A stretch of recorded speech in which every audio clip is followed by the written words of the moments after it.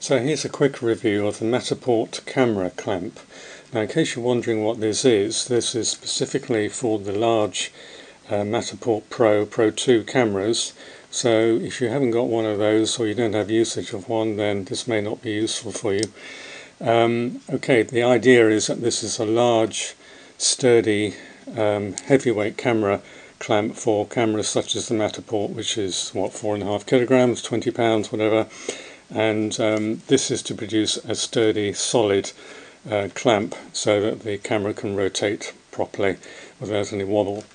And uh, the way you use it is you've got a, a clamp here and an adjustment here, so you can get just the right amount of um, clampage, if that's the right word, um, and also uh, a quick release mechanism. And the idea is that you pull this back and then this opens up uh, the clamp ever so slightly so that it will slide off.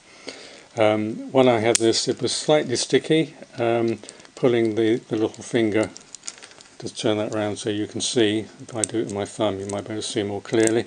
Slightly sticky, a little bit of um, silicone grease, tiny tiny blob on that, work it in and it works perfectly because you don't want to overdo that when you're doing this sort of thing, to trying to get the thing to open because I can overshoot and that makes things unsteady.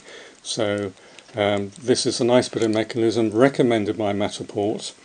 Um, the expensive camera, two or three grand, um, so you don't want any problems with it. This is this is the perfect solution and standard quarter inch um, screw port here and uh, like I say nice steady movement to make sure that camera is well clamped on.